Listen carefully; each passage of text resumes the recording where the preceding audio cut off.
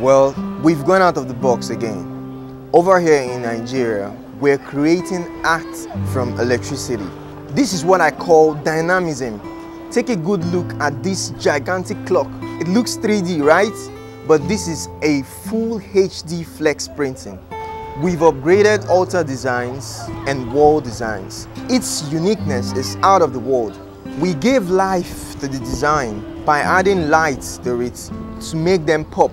These designs are less expensive and this particular design was done for a big church here in River State at Igrita Omuwe Omachi precisely. I got a call on that day from Apostle Dr. Kingsley Ogochukwu and then we moved to the site at Christ Eminence Liberty Church for all nations. It was a massive wall, so big that we had to print twice just to cover the altar.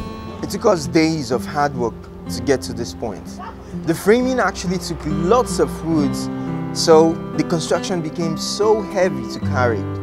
We made an analog clock, but Apostle Dr. Kingsley suggested we go for a digital clock. Please drop your comments on this and please subscribe to our channel.